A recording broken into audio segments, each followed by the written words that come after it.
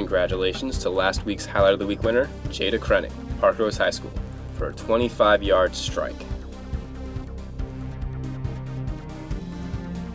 Nominees this week include student athletes from Sherwood, Oregon City, Lake Oswego, Milwaukie, and Parkrose High Schools.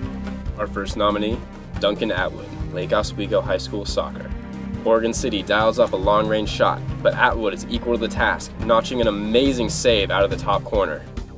Our second nominee, Keegan Lawrence, Sherwood High School Football.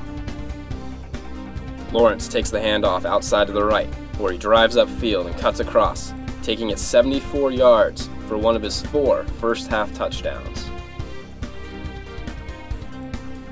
Our third nominee, Randall Sam, Milwaukie High School Soccer. Five minutes left in overtime. Milwaukie up 2 to 1. St. Helens with a free kick in the offensive third. The Milwaukie defenders are unable to clear the ball, and Sam comes to the rescue with a spectacular fingertip save. Our fourth nominee, Trevon Bradford, Oregon City High School Football. Grant punts the ball from inside their own 20 yard line out across midfield. Bradford receives the punt at his own 47 yard line, finds a wall of defenders and reverses the field before cutting up the middle, taking it back outside to the right. Once more, he reverses the field, spinning away from a tackle. He finds a crease and breaks outside to the left, pushing up the sideline before he's ridden out at the 3 yard line for a 50 yard punt return. Our fifth nominee, Marshawn Edwards, Parkrose High School Football. Quarterback Jonathan Bolden takes the snap and delivers up the middle, where Edwards brings down a superb one handed catch and drives it down inside the Sherwood 10 yard line. Our final nominee, the Little halftime goalkeeper. At halftime of the Oregon City Lake Oswego soccer game, we see a flash of future greatness with this penalty kick save. Vote for your favorite highlight on the Replay Locker Facebook page. Let's take a look at downloading full game footage from the Replay Locker app. To find an event online, click the search button.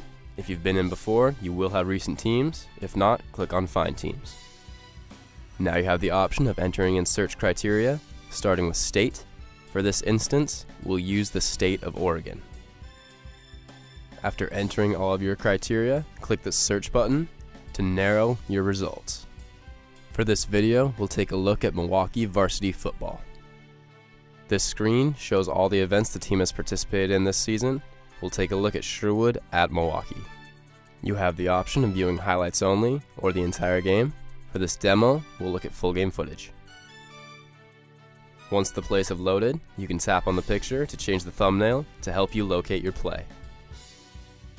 Let's take a look at this one. Tap the play button and the first view will load. Once the play starts, tap the play all button in the corner to start downloading the next play. Once it's finished loading, it immediately starts the next play, allowing you to view the entire game in a fraction of the time. To view a different angle, simply tap the screen. You can then touch on the view you want and wait for it to load. When you find a play worth saving, tap the red button and it will be downloaded to My Highlights. Plays stored in My Highlights are saved to your device so you can view them anytime you'd like, even without an internet connection.